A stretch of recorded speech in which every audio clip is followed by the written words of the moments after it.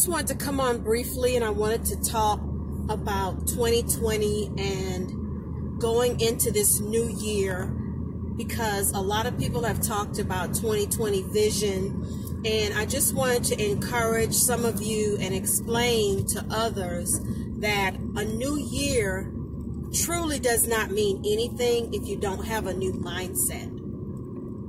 Because if you don't have a new mindset, you're going to come into this new year just like any other year, and you're going to continue to make the same mistakes. You're going to continue to make unwise decisions. And so there has to be a new mindset. So if there is a theme for this new year and any upcoming year, it needs to be new year, new mindset because it starts in the mind.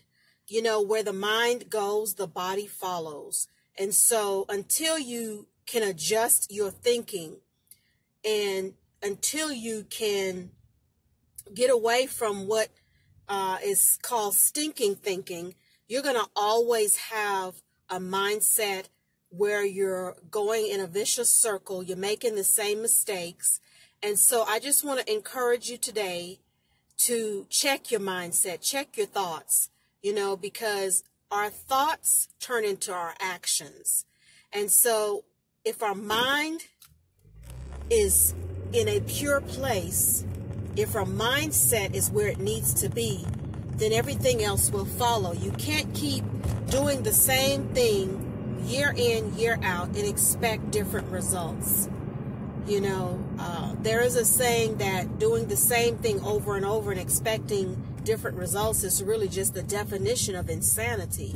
So if you want something different in your life, you have to do something different. And sometimes it calls for discipline. Sometimes it calls for sacrifice. You know, there are times when uh, you may have to turn off the TV. There are times when you may have to turn over your plate and, and fast. There may be times when you may have to stop spending on, you know, things that are not important in your life in order to save. So it's all about your decisions and, and where your mind is. So if there is a thing that we need to keep in the forefront of our minds is new year, new mindset. And so that's my encouragement for you today to remember that nothing is going to change if you don't change. And so when you change your mind, then you will notice changes in your life. That's all I have for you today. Be blessed. Thanks for watching.